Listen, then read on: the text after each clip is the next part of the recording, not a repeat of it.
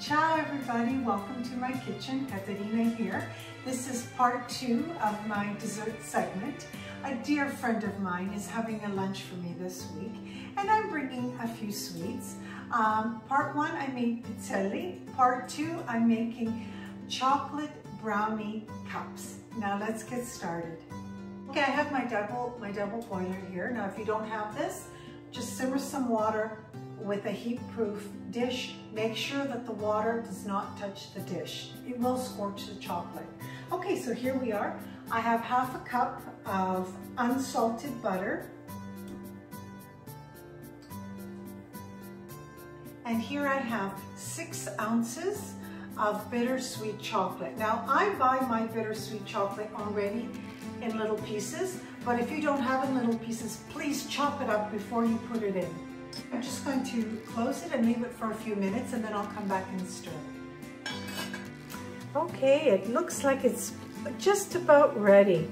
I'm going to turn off the stove and just continue stirring, but you can see it's uh, combined beautifully and melted wonderful. My chocolate and butter have combined beautifully. Um, right now would be a really good time to preheat your oven to 350 degrees Fahrenheit. And now I'm going to transfer the mixture to my mixer. I have a cup and a half of granulated sugar and I'm going to add it to my chocolate mixture. I have three eggs here at room temperature. I'm going to add them one at a time. A quarter cup of cocoa powder. I'm going to add this now. Half a teaspoon of salt.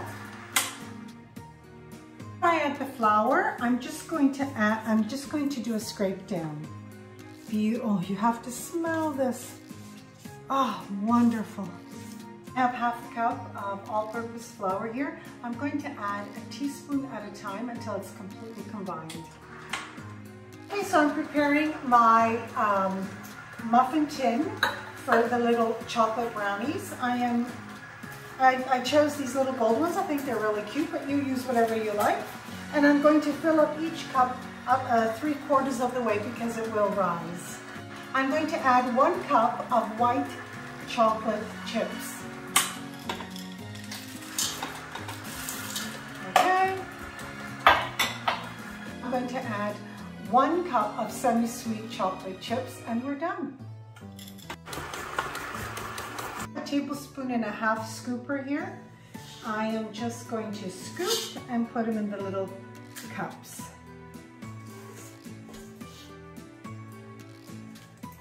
Okay, they're ready. In the oven, they're going to go for 30, 35 minutes. I'm going to check them with a skewer. My chocolate brownie cups are wonderful. If you could only smell my kitchen, I think my girlfriend is going to love them. I don't believe you need to ice these. I think they're good just the way they are. Um, thank you for joining me today. It's Caterina from my home to yours.